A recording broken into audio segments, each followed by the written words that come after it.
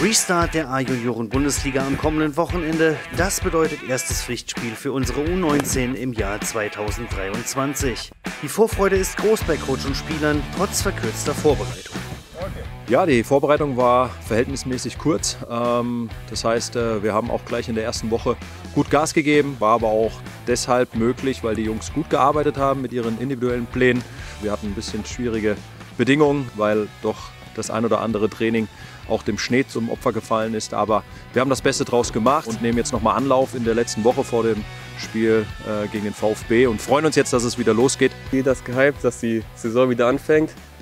Ligastart ist immer was Cooles. Vorbereitung lief gut, haben von Tag 1 Gas gegeben, haben auch direkt das erste Testspiel gewonnen. Und jetzt vor kurzem halt gegen Sandhausen das 8-1 haben wir nochmal guten Abschluss hingelegt. Ja. Und am Samstag schauen wir auf VfB Stuttgart. Die Schwaben, aktuell Tabellen-Siebter mit vier Punkten Rückstand auf die TSG, gleich zu Beginn eine brisante Aufgabe. In mehrfacher Hinsicht.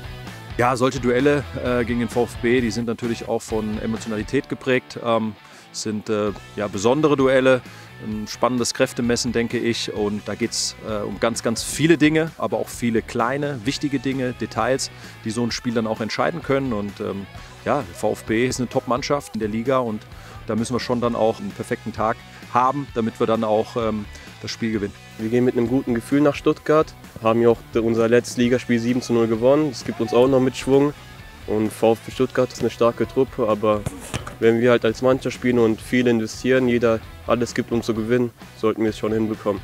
Klingt nach einem guten Plan, ebenso wie das anvisierte Saisonziel. Wir wollen unsere gute Ausgangslage, die wir uns äh, im letzten Jahr auch äh, geschaffen haben, die wollen wir weiter ausbauen. Wir wollen ähm, oben dran bleiben äh, und gucken einfach dann von Spiel zu Spiel, was geht. Wir wollen jedes Spiel gewinnen und ähm, einfach das Beste äh, rausholen. Wir haben jetzt noch sechs Spiele und äh, die gehen wir so an, als äh, ja, sind das Endspiele und dann gucken wir am Ende, was bei rauskommt. Ja.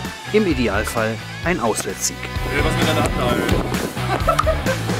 Stimmung ist gut, wir sind alle voller Vorfreude auf das Stuttgart-Spiel und ja, die drei Punkte gehören nach Hoffenheim.